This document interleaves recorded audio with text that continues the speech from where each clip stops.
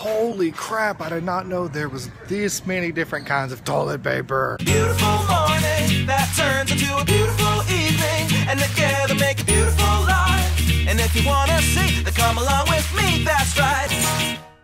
Hey, what's happening? It's your boy R. Alan Ingalls. Good evening. I have been running behind since my eyes opened this morning. Had a long day at work and a few surprises right at the end of the day made me late to my mom's birthday party dinner. But now I've just left that and I'm on my way into Walmart to pick up a few necessities for the house. Maybe I won't get lost today. Yep, I'm lost. Ah, found it. Holy crap, I did not know there was this many different kinds of toilet paper. It all does the same thing. Why are there so many different kinds? All right, I got the toilet paper. Saturday was such a hectic day that I actually forgot to go get a black tie that I wanted to complete my outfit. So I'm gonna go see if I can find one today so that the next time I wear that outfit, I'll have a black tie to go with it. They didn't have the tie I was looking for, so it's on to checkout and then home.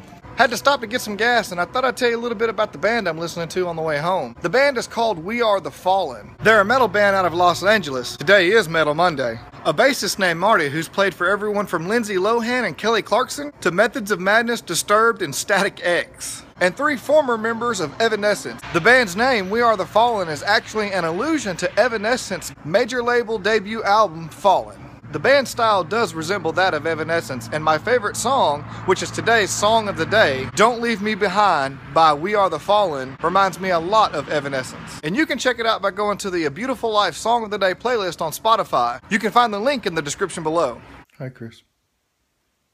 Hello. I didn't start vlogging until nearly 8 p.m. tonight, so do something interesting.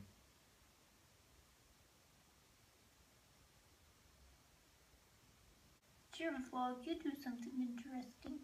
Good point. I was listening to this week's Fro Knows Photo Raw Talk, and on it they mentioned this contest that Netflix is holding where they're searching for three people to become the Instagrammers of Netflix, a role they call the Grammaster. Grammasters will travel all across the continent to take photos for Netflix's Instagram accounts. To apply for this gig, you have to follow Netflix on Instagram and then hashtag three of your best Instagram photos with the hashtag Grammaster. So I'm preparing some of my best photography to upload to Instagram and hashtag with Grammaster to enter in this interesting opportunity. Wish me luck, guys. I've got my photos uploaded to Instagram and hashtagged Grammaster. Now I'm going to go to bed. Good night. I'll see you tomorrow.